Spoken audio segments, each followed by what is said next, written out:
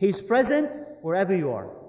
When you're home, with your wife, with your children, at work, whatever you're doing, before you sleep, in your sleep, when you wake up.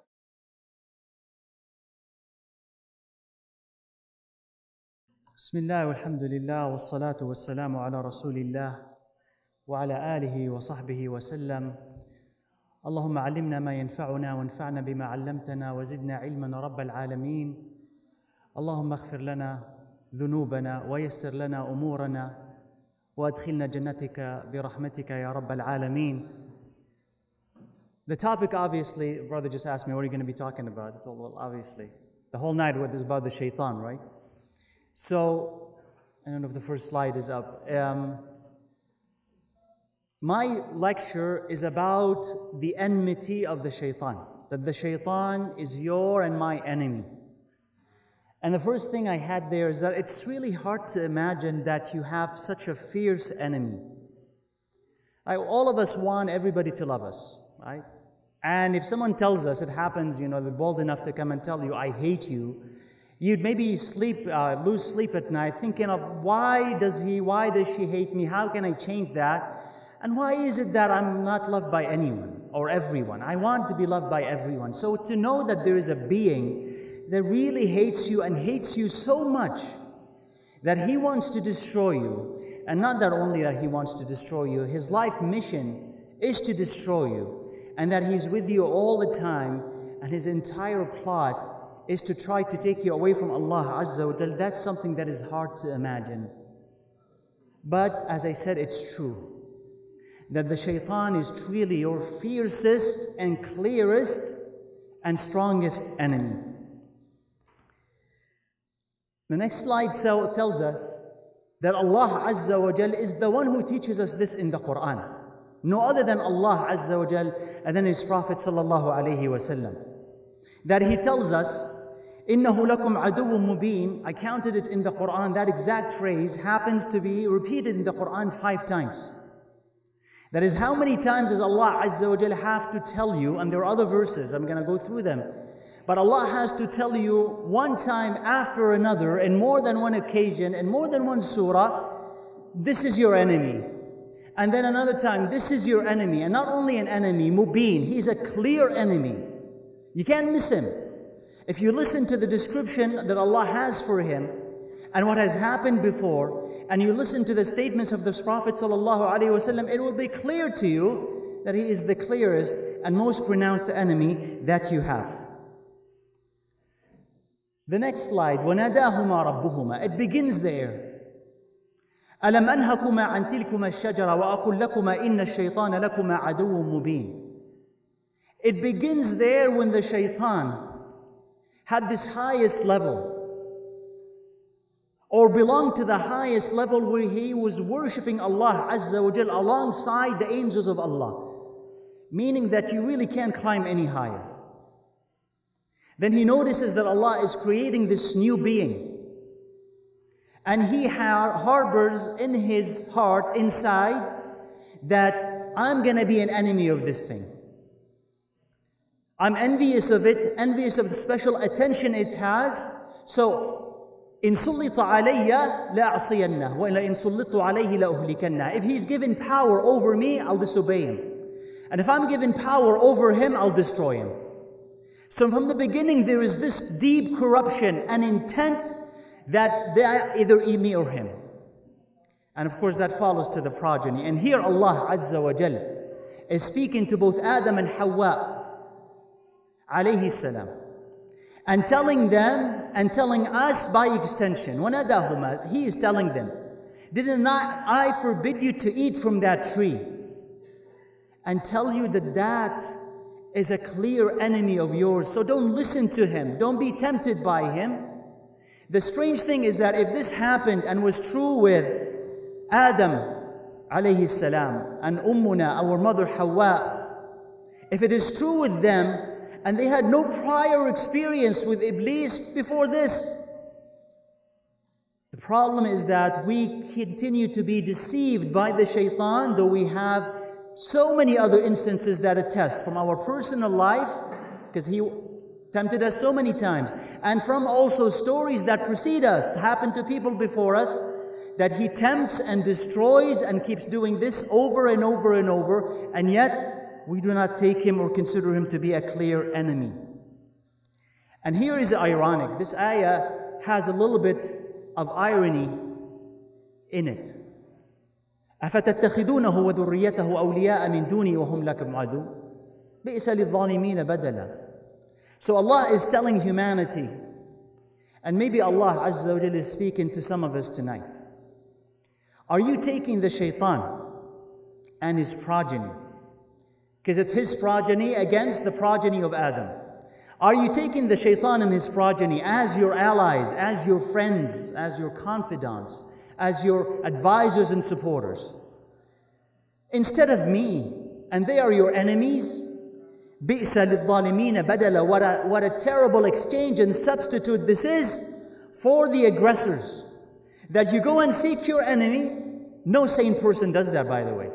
If you know that you have a friend and you, have, you know that you have an enemy, someone who wants your success and someone who wants your destruction, and you go and you make your enemy your friend and your friend your enemy, you will say that that person is what? What do you call that person? What?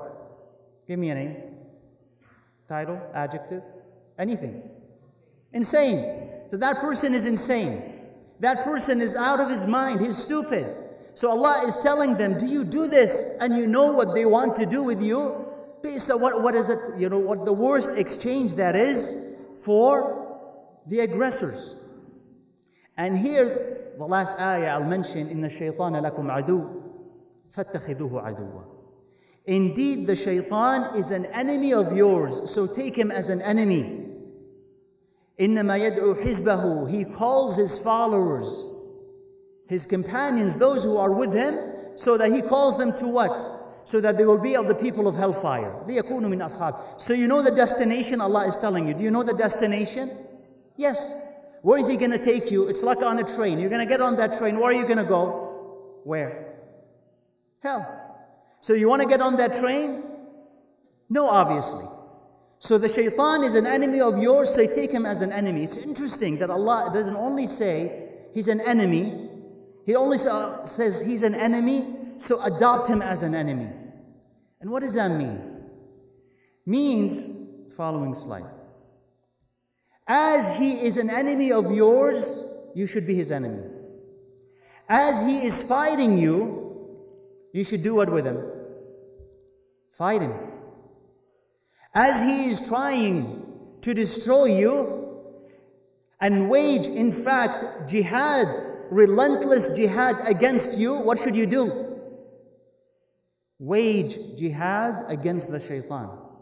Nothing less than waging jihad against the shaitan. In fact, as some of the Salaf have said, the greatest jihad, not to diminish the other types of jihad, but to point to priorities. He says the greatest jihad that you have is the jihad against yourself and your shaitan. Some of the Salaf had said the jihad is made of 10 parts. One part of the 10 is for the outside, and nine out of the 10 is on the inside, is against inside forces. So you have to wage a jihad against the shaitan. So this is what Allah is telling you. Have you taken him as an enemy? Well, if you listen to his whispers, you haven't taken him as an enemy. If you're not siding with Allah Azza wa Jal, you're not taking him as an enemy. If you do not consider his tricks and try to protect yourself from them, are you consider him as an enemy? Probably not. I want to talk, inshallah, and this is what the lecture is supposed to do. It's as an introduction to the other two lectures that will follow, inshallah. I want to discuss with you, inshallah, the extent of the enmity of the shaitan. Some of it may be new, some of it we've been exposed to before. But the first thing is that every counsel, every advice, every opinion that comes from the shaitan has only one goal. And that goal is to destroy you and take you away from Allah Azza wa Jalla.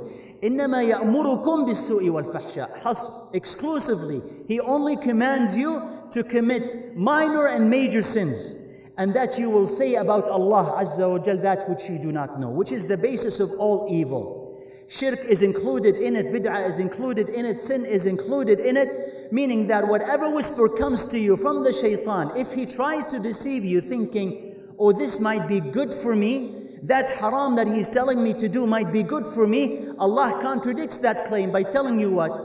Innama, the only thing that he wants from his whisper is sin and for you to oppose Allah Azza wa Jal. Meaning, you know, maybe, maybe if I take a little bit of that haram and I can use it for the halal.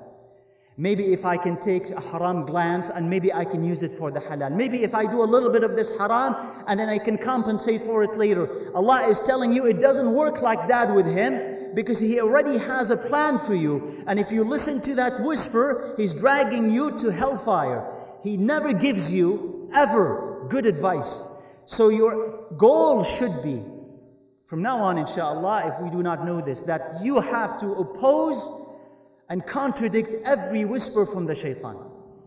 Every advice, which is really not advice, every advice coming from the shaitan is something that you would have to avoid. Allah also says, إنما يريد الشيطان أن يوقع بينكم العداوة والبغضاء في الخمر والميسر ويصدكم عن ذكر الله وعن الصلاة فهل أنتم منتهون The same, the same goal and purpose, Allah Azza wa Jal says. Indeed, the exclusive aim of the shaitan is that he wants to create friction and hatred between you. Adawa and baghda. For you to hate each other inside from your own heart, and then for that hatred to translate into animosity, physical animosity on the outside. This is what he wants. For you to hate your brother and for your sister inside the masjid. For you to hate your spouse for the children to hate their parents, for them to hate the imam, for the imam to hate the congregation, for the leader to hate the ruled, for the, uh, the rule to hate the rule, for everybody to hate everybody else, because when they hate everyone, you will fight them.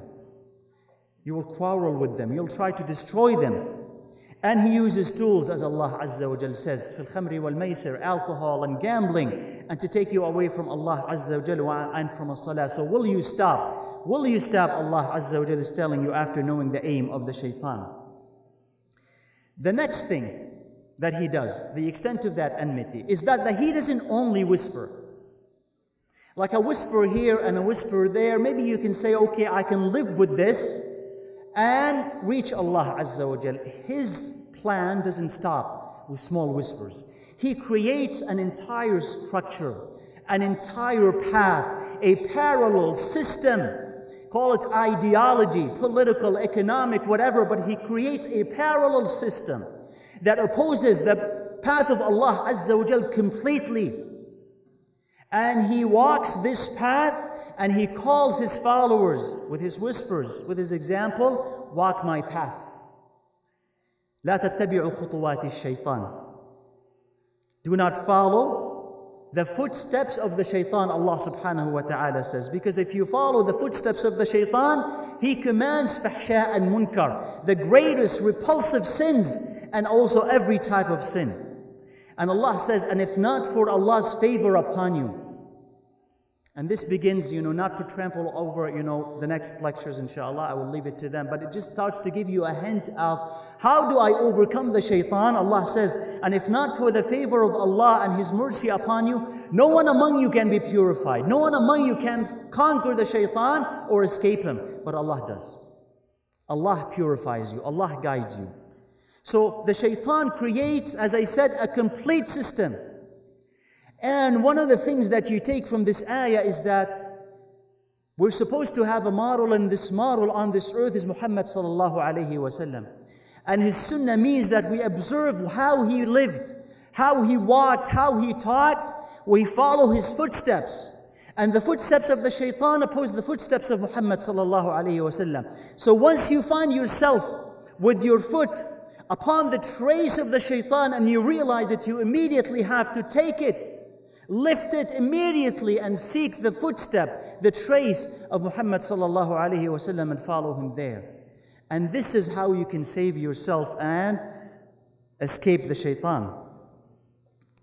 The following slide, it tells you something about his dedication. You may forget, but He doesn't. You may relent, but He doesn't. You may sleep and get distracted, but He doesn't. He's always there. So the Prophet ﷺ says in this hadith, إِنَّ الشَّيْطَانَ يَحْضُرُ أَحَدَكُمْ عِنْدَ كُلِّ شَيْءٍ مِّن شَأْنِهِ He's present wherever you are. He's present whatever you are doing, He's there.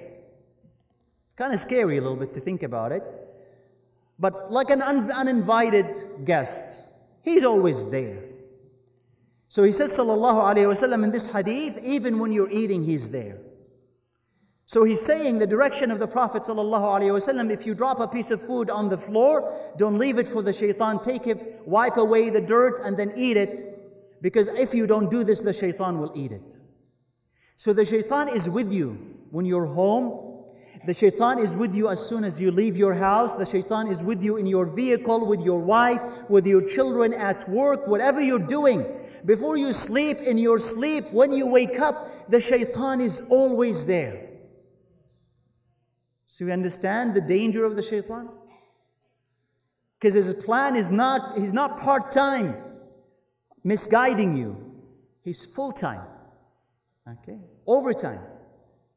Trying to take you away from Allah Azza wa Jal. So when you're eating, when you're doing anything, the shaitan is with you. So that tells you that you, have, you are facing, subhanallah, a strong enemy. And that strong enemy needs strength on your part to be able to repel him. Number four, he eats your food and steals its barakah. You understand this from the previous hadith and from another hadith from the Prophet ﷺ. I didn't put it here. Where it says that the Prophet ﷺ was talking to someone who came and to complain to them, to the Prophet, that we eat but we don't find satisfaction. We're not full when we eat, O Prophet of Allah. So the Prophet tells them, one of the things he says that perhaps you do not mention Allah's name before you eat. They say yes. He says, mention Allah's name and protect your food from the shaitan and you will be full. So the shaitan even comes between you and your food, between you and nourishment, steals as much of it as he can, takes the barakah away, the nourishment away from you. A person who wants to stop you even from eating, from being healthy, has even more disastrous plan for you. So if you understand his readiness and how vile he is, you have to be ready for him. The next slide. When is the last time you had a nightmare? Anyone? Nothing, you know, you know, embarrassing about it. Anyone? Yeah? Nobody? No one? Okay, fine. Inshallah. If you had one, the Prophet ﷺ tells you that dreams are of three parts. One of them comes from your own self, and one of them, which is good, the good type of dream, comes from Allah Azza wa Jal. And then the bad type of dream, the terrifying dream, the nightmares that you have, they come to you from the shaitan. The thing that terrifies you and saddens you comes to you from the shaitan. So he says in this hadith, ru'ya, the good dream is from Allah. And al-hulum, the bad dream is from the shaitan. So if you see something in your sleep that you hate, spittle or spit to your left three times and seek Allah's refuge from that, what you, what you saw, it's not going to hurt you. So even when you are sleeping, the shaitan is trying to do his best to disturb your sleep to terrify you in your sleep, to sadden you when you wake up. So he, even when you're resting, he doesn't let go of you. Number six, the shaitan can even make you sick.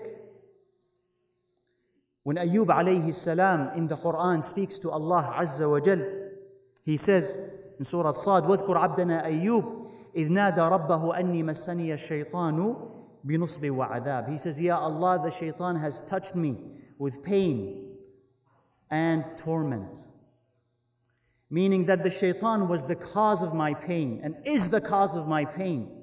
So it's possible, whether it is through the envy of jinn or whether the actual, the, through the actual touch of the shaitan, that the shaitan can make humans sick. and I don't mean by that that you start interpreting every type of sickness that you have as the direct influence of the shaitan. I'm not saying this, but I'm pointing out to the possibility of him making you and me sick. And again, it elucidates and underlines how much he hates you and how much he wants to make your life miserable. Not only this life, but also the one to come. Number seven, I said that shaitan doesn't create poverty. Allah Azza wa Jal makes some people poor, makes some people rich. But he accentuates, he exasperates the distinction.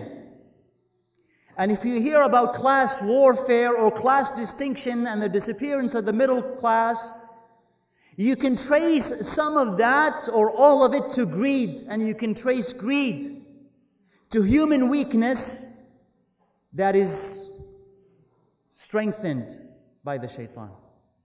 So whenever you want to spend and give for the sake of Allah Azza wa Jal, what does the shaitan come and tell you?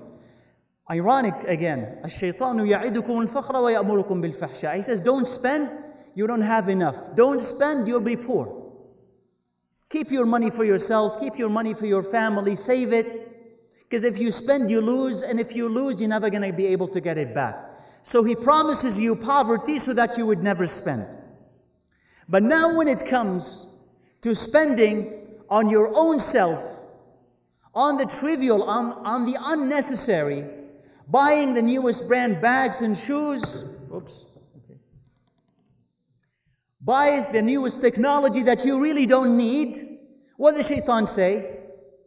Go ahead, spend and actually spend a little more and upgrade and buy the latest one. And the thing that you bought last year is already old, so buy the newest, newest thing. And he doesn't restrain you. And the more that you spend and the more that you overspend there, the happier he is because there that's wastefulness. So on the one hand, wastefulness, go and waste all of your money. That's fine. Because this is tabdhir, and Allah Azza wa Jal says, إِنَّ الْمُبَذِّرِينَ كَانُوا إِخْوَانَ الشَّيَاطِينَ So those who are wasteful are the companions of the shaitan. But then when it comes to true cause for spending, for sadaqah, for building things that Allah Azza wa Jal loves, for helping the needy, He says, keep your money to yourself. And that, of course, increases the gap between the wealthy and the poor. The poor do not receive money from the wealthy, and the wealthy disdain the poor, and the wealthy spend more and more on, on, on you know, whatever is what they call it kamaliyat, unnecessities, extravagance, which makes the poor hate them even more and more. And that eventually, if it's not restrained, will create conflict between members of a single society. Number eight, he whispers different things based on your situation. And this requires some depth of understanding from the worshiper, from the seeker, from the Muslim, from the mu'min, man and woman. He's not going to come and whisper to you the same exact thing he whispers to your brother and sister sitting next to you. He understands because each one of us has a qareen, has a companion shaitan. He understands your strengths and weaknesses, where you're at in your taqwa, what you can do and what you cannot do. So he whispers exactly what you need to hear, what you like to hear. He comes and visits you from your weakness. So if you're a sinful person, he comes and tells you there is no hope for you. You're so far away from Allah Azza wa Jal, just continue doing whatever you're doing. There is no mercy for Allah to you or people who are like you. Repentance is difficult, forgiveness is far, just keep living your life. If you are a person who's trying to come close to Allah Azza wa Jalla, understand that thing is not going to happen. That's not going to work for you. So the tactic switches and he tries to inflate your ego. And he says, You're the best of people who pray, and the best of people who donate, and the best of people who speak, and the best of people who study. So here, if you worship Allah, he tries with arrogance. And if you are away from Allah, he tries it with hopelessness and despair. And there is a book by an Imam Ibn al-Jawzi, Talbisu Iblis. He visits almost every category. Scholars, worshippers of Allah Azza wa Jal, those who do this, those who do that. And he tells us how the shaitan approaches them and how his approach is different with each group and how he tries to distract each group in a different way. Tries to inflate their ego and take them away from Allah Azza wa Jal. And rather than they worship Allah, they start worshipping their own selves and their own distractions. So the shaitan knows you very well, knows your weaknesses, susceptibilities, strengths. What are you able to do and not? And he attacks you from that direction. Number nine, he does something terrible, which is that he confuses you about Allah Azza wa Jal and about your religion. And tries to distract you with the temptations of this dunya, with the little things of this world to take you away from Allah Azza wa Jal. And make the clear path of Allah that He had made clear seem so obscure and distant that it's hard to reach. Religion that is supposed to be natural in our hearts and in our minds becomes something archaic. And that's a whisper from the shaitan. Allah Azza wa Jal, whose existence should be so self-evident that no one should question. Now we have to gather proof after proof to secure in person's mind that Allah Azza wa Jal exists. The fact that Allah Azza wa Jal sends prophets of Allah and that these prophets are supported with clear miracles is so clear, yet the shaitan confuses this matter so much with fake claims, with fake prophets, that it became, became at times so hard to distinguish those who are telling the truth and so those who are not. Worshipping Allah Azza wa Jal is so sweet and so peaceful and brings so much comfort to your heart that everybody should be naturally seeking it, yet the shaitan plays on our weaknesses and love for the dunya so much that we forget about the comfort of religion and try to find comfort in the dunya. So he comes and he hijacks us completely. Allah Azza wa Jal, through his Prophet sallallahu alaihi wasallam, says, "Inni khalaqtu ibadi hunafa." I've created my slaves Everyone, every human, حنفاء, Muslims. فأتتهم الشياطين فاجتالتهم عن دينهم. Then the shayateen, the devils came and hijacked them, kidnapped them, and took them away from their religion. So when it comes to Allah, to religion of Islam, to the Prophet Muhammad sallallahu alaihi wasallam, to the comfort and joy you find in religion, all that he tries to replace with comfort and joy in dunya, with doubt with anxiety, so that we never find comfort in the Allah with Allah Azza wa Jal. He creates hatred and fiction and fans the flames of war and death. Whenever there is conflict in this dunya, even conflict within Muslims, even conflicts within Muslims, what does the Prophet ﷺ say? Again, I want you to see how the shaitan moves. Never gives up. You think, oh, now I've, I've escaped you. Now, Alhamdulillah, I'm Muslim, I've escaped shirk, now I'm fine. He's never done with you. When the Prophet ﷺ opened Arabia, what did he tell the Sahaba? إن الشيطان قد يئس أن يعبد في أن يعبد في جزيرة العرب. The shaitan had given up on the fact that he'd be worshipped in Arabia, meaning no asnam anymore, no idols. Did he quit? No, there is plan B. If I can't get A, I'm gonna get plan B. What is plan B? ولكن في التحريش بينكم. But he will create friction and hatred between you. If I can't get them here, I'll get them that way. So if I can't get them through shirk, I'll make them so distracted by hating each other and then killing each other, then I'll achieve what at least a minimum of what I tried to achieve. And this is what you find today. Yes, we're Muslims, but we, do, we, do we really love each other as the Sahaba used to love each other? Do we serve each other as the Sahaba used to serve each other? There is tahrish. And you want to understand where does this friction come from? Well, why are there so many conflicts in the world today where we are on the verge of this war and that war? Why do we hate each other so much? You can trace it back to the shaitan. And this is, of course, not to excuse the human race, ourselves, from any responsibility, but, but it is that we are listening to someone else. And if we stop listening to the shaitan and we listen to Allah Azza wa Jal, these conflicts will disappear and there will come a time when they will disappear.